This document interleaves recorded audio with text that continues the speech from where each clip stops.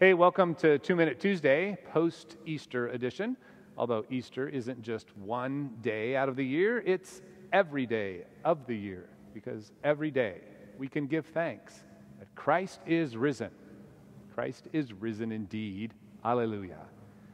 Thank you, everyone who were a part of our worship this past weekend. All the people behind the scenes, all the people here in the sanctuary, and all of you who watched. So many of you tuned in to be a part of worship, either by watching or by sending your videos or pictures, by singing along, and by being community the best way that we can in these difficult times.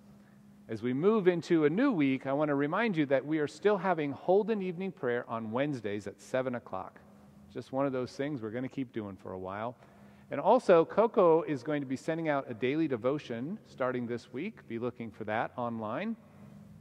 And we were also having um, some folks post in our family ministry Facebook page every day with stories that they're reading or activities for families and children. So please take a minute to check that out as well.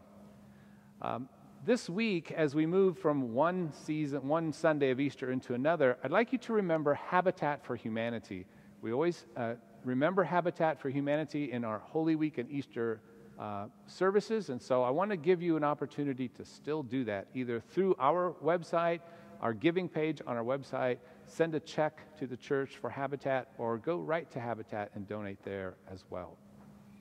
Uh, another note is that we have a few masks at church. Uh, we've had folks making those, and we have some available. So if you or someone you know would like one, just give a call to the church. We'll get you connected. Finally, on this coming Sunday, we're going to have a new thing after worship, although it's an old thing. It's coffee and donut hour. Only you have to bring the coffee and the donuts.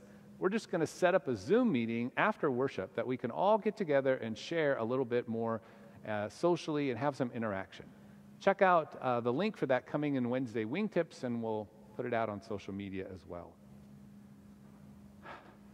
It's been a strange past week, I know. It's going to keep being strange, I'm sure, for more weeks to come. But in the middle of all that, know that you are loved and that you are cared for and that we are in this together. We thank God for that. I pray you have a blessed and holy day.